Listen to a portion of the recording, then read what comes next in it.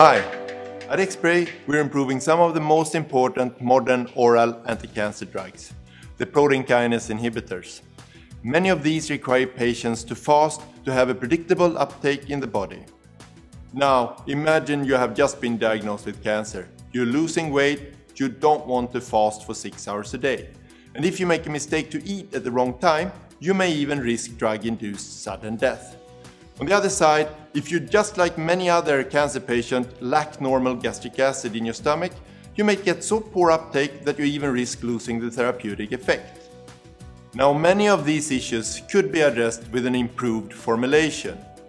And in a recent survey carried out by Bioseeker, all researchers and managers from major pharmaceutical companies said that the formulation of these drugs need to be improved. At Xspray, we have developed a hybrid nanoparticle formulation platform. With this, we can show major improvements for all 12 of the marketed PKI compounds that we have reformulated. These improvements include reduced pH effect and a significantly improved solubility.